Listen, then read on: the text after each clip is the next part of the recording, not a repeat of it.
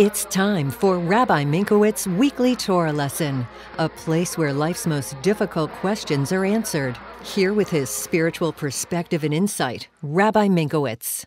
Welcome to our weekly Torah lesson. This week's Torah portion is Parsha Shlach. The question of the week is what is a quick and easy way to transform yourself?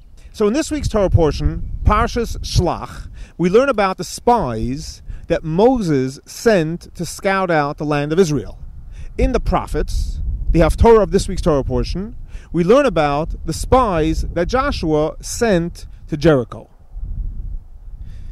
The Rebbe asks a simple question Why is it that Moses' spies scattered out the whole land of Israel and God actually did not instruct Moses to send them? He told them, if you want, you can send them. Whereas the spies that Joshua sent were sent with the instruction of God and only to Jericho. So the Rebbe explains a fascinating Kabbalistic concept, and he explains as follows The land of Israel was occupied by seven nations. Namely, on a spiritual level, refers to our seven emotions. Jericho comes from the word of Yericho, which is sent, which refers to our external part, our garments, our thought, speech, and action. So the Rebbe explains that when it comes to transforming your thought, speech, and action, God does command you to do that because that is something which is extremely easy attainable by just thinking the right things, saying the right things, and doing the right things. So God could and does command us to take control of our thought, speech, and action. However, when it comes to our emotions, God knows it's a hard task.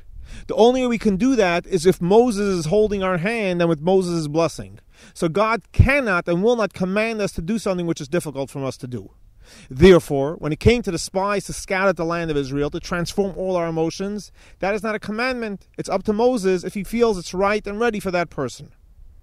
So, in other words, to transform our emotions is not easy. It's a hard task, and it's something we have to work on but we cannot be commanded to because it's not something which is so easy attainable. However, to control and direct our thought that they should be positive and holy, and our speech that they should be nice and kind and pleasant, and our actions that we have 100% control of. At any moment, we can think positive things, we can say nice things, and we can do nice acts. So, in other words, to answer the question, how can you transform yourself in a quick and easy way? Just think positive things, say nice things, and do positive acts.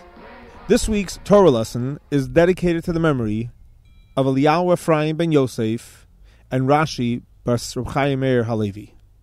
Thank you for joining us for our weekly Torah lesson. Please join us for live classes at Chabad Thursday morning at 11 for a Parsha class by Nechamie Minkowicz. Thursday evening at 7, a Parsha class by the Rabbi. Shabbos morning Kabbalah class at 9 o'clock, followed by davening and Farbrengen. Shavua Tov, and have a great week. It's Stein-O-Mite.